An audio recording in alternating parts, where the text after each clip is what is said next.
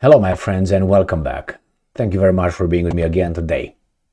I'm pretty certain that by now you know that there were a lot of uh, pro Palestinian um, uh, demonstrations um, around the world, let's put it this way. But it's very strange that that around the world was not Russia, was not Romania, was not Poland, was not Bulgaria, was not Czech Republic, Slovakia, uh, the Eastern European countries uh, did not have this kind of uh, rallies in support of Palestine or Israel.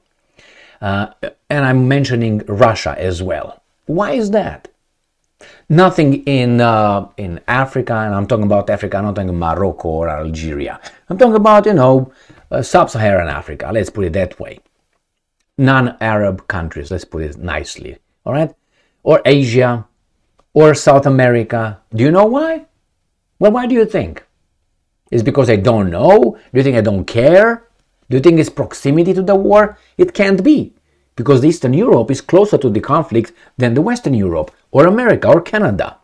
So how come in Canada, United States, Germany, France, just to mention a few, Sydney, Australia, Western countries Western countries, they have rallies. Why do we have ra- uh, London, Great Britain, England, whatever? Why do you think that is? Could it be because they have uh, some people over there of certain kind of ancestry? Um, all right, well, just giving you a um, asking a question. I know the answer, but hey, let's play dumb a little bit.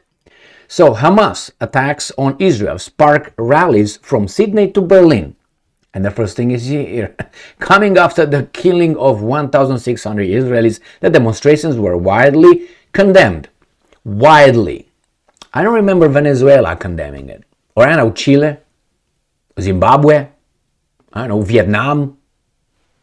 Did they condemn anything? So when you say widely, you talk about your little world, your little world under the control of yeah? All right. You see, and coming after the killing of 1,600 Israelis. Okay, how many Palestinians died? Crickets, crickets, crickets, bzz, like a dead person. Beep. No, my beep, beep, no more. So you see, Alexander Nazaryan, who is an Armenian by the uh, last name, I would say, senior White House correspondent. Good job, good job. So let's see what's going on. You see here? Just look, I mean, we can play dumb. I mean, I can look over here and I can see this guy, I can see this guy, I can see this guy. Okay, I can see this woman here. I see that guy, I see that guy. I see this guy. I see that guy. I see that woman. I see that woman. These guys are not blue-eyed, blonde-haired. I mean, I'm joking, obviously, right? So this is where? This is uh, in Toronto, Ontario. Toronto. So if these guys would not be here, let's say, I'm just giving you, I'm not implying that this, uh, these, these guys would not be over there, you would probably not see this kind of demonstration. Pro Israel or against Israel, pro Hamas or pro Palestine or against Palestine, and blah, blah, blah, blah. But you have it. So remember, when you bring people in and you bring too many, you know, these guys are going to keep enclaves in your countries, my friends. They will keep enclaves that will refuse to learn your language, refuse to learn your culture. They would live at the first world living standard on with their culture. They will not assimilate.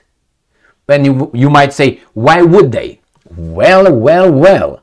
If I come to your house because I want to come to your house, not because you want me to come, I come to your house I come to your house and I start changing your drapes, or the time when we you guys eat, we have dinner, or what, what kind of food we gonna all have now, because I'm over there, because I came to you. You didn't come to me. So you see, it's kind of uh, if you make things better, that's a different thing. But if you make it to fit your needs, it's a little bit, you know, how should I put it? Um, not okay. Let's put it mildly. Uh, remember, now is the this situation with Palestine, with Gaza, with the Israelis, and so on. But it can be with others. And the others, remember what happened with the Indians and with the Chinese. in Canada, I'm going to give you Canada as an example, since these guys were uh, in Canada. Remember what happened when uh, these idiots in Canada, I'm talking about, uh, I was about to say Lavrov, uh, Justin Trudeau, uh, did arrested that CEO for why, how, way, why, way, whatever. Remember what the, those guys did? Remember how many Canadians live in China and how many Chinese of China, Chinese origin live in, or first generation, live in Canada. Do you think that out of all those people, you will not have certain kind of people that still love their country and they like working for more money in your country? And this becomes their country? India. How many Indians are in Canada and how many Canadians are in India? My friends, uh, subversive actions are always available in every country. The problem is what I have on you and what you have on me. And on both these sides, China and India, Canada is screwed. It's in a big disadvantage. Why? Because it have, has the big minorities. So here the same. Why is Russia not having this problem? It has a Muslim population in in uh, in um, Russia. Why Romania? You don't see anything like this. Remember, I'm not saying this is a bad thing of expressing your views. No, you express your views uh, freely, without being afraid of negative consequences. No punishment for expressing your views, because if there's punishment, then that means you're gonna auto censor. That means you're not free anymore. Not by be- making it illegal, by being afraid to say something because you're going to be starving in the future. Because some people would put pressure on your free speech. Therefore, that's for you're going to keep your mouth shut. That's why people keep their mouth shut at work. If you go to work and say, you know what, that, that, fuck that, they're going to fire you. Why? Unrelated to your work performance. Unrelated. So, nevertheless, my point is, you guys, the Western Europe, got a lot of groups in your countries. The problem is when their, their countries have problems with one another, that would spill in your country. Now, their country. And they will ask you to implement certain cultural particularities that they have. And you would say, How can't we? You will not be able because they will vote you out. They will vote.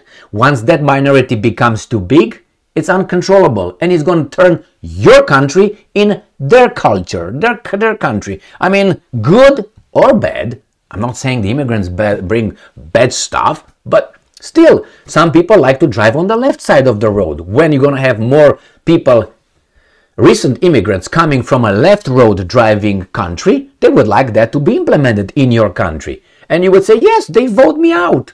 And you're going to be okay with that. All right. There's some negative cultural influence as well. For instance, let's say minor arranged marriages. Some countries have that okay with. What if you're going to have people coming from this kind of country where it's legal in their country do a cultural thing in your country and they will have, let's say, the, uh, uh, the province of Ontario, a majority of these people who's going to vote someone and going to change legally, you know, the policies or whatever you want to call the laws what are you going to do about it? Nothing. They did it legally.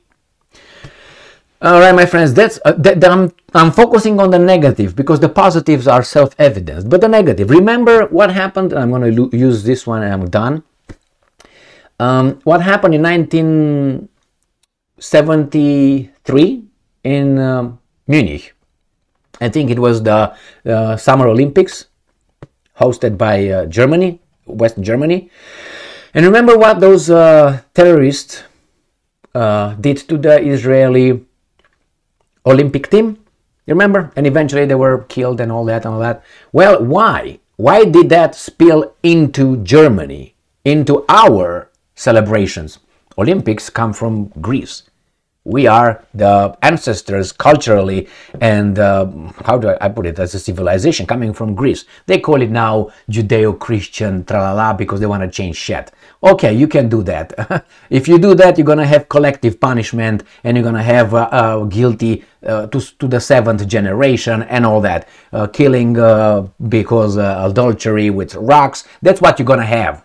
So when they say Judeo-Christian origin, okay, all right, you can have that, but without the Greeks and the Romans, you would have a different kind of culture here. All right. So anyway, let's move on. So in Berlin, what happened? In Berlin, in uh, in Munich, those guys spilled their garbage, their garbage, brought it to Germany on our our Olympics. That, but we were inclusive, and you got that garbage in your country. And then guess what? The victims, which were the Israelis at that point, right? The team, they sued the German government and they get reparation. Do you know that? Because the Germans could not protect their their team being slaughtered by those guys, something that Germany had nothing to do with. It happened in their country, but it spilled there. So remember, I'm waiting, not because I'm waiting like this, but I guarantee you 99% that this that you see right here will spill into something else. Maybe not today, not tomorrow, but in the near future. Because this, uh, this kind of things you didn't see in, uh, in Western world, let's put it this way, let's say 20 years ago or 30 years ago. No, because they were not so numerous, but now they are more. And you know, the right to protest, but how are these guys going to contain it? They can't. And they don't they don't want to face the reality. What's the reality? You fucked yourselves. Uh, well, as I said, uh, this don't didn't turn violent or anything like that. The thing is just, uh, and here, let me show you this. Both pro-Israeli and pro-Palestinian protests have broken out, with heated rhetoric in some cases de- developing into ugly displays of anti-Semitism, including chants of pa pa pa pa pa in Sydney. And not only that, they start fighting, fist fighting. Do you have that? Would you have that? Now you have it. So uh, you have to make sure that you, you vet people who come in your country. But uh, I think Western Europe and, and, United States and Canada are uh, just losing it. And why? For various reasons. And I have uh, Henry Kissinger, the former, um, how do you call it, Secretary of State. Um, how do you call it? Yeah, Secretary of State? No, I don't call it Secretary of State. Foreign Minister, let's put it this way. It's easier. I always uh, I like Blinken. And he was an advisor, presidential advisor. Henry Kissinger, he's Jewish came from Germany uh, during the uh, Second World War, um, Holocaust. anyway, he said that, uh, well, the immigration, uh, you up. I'm going to cover that in the, next, in the next video, probably. Thank you very much for uh, being with me again today. Stay strong, stay smart, look for the truth, and be just.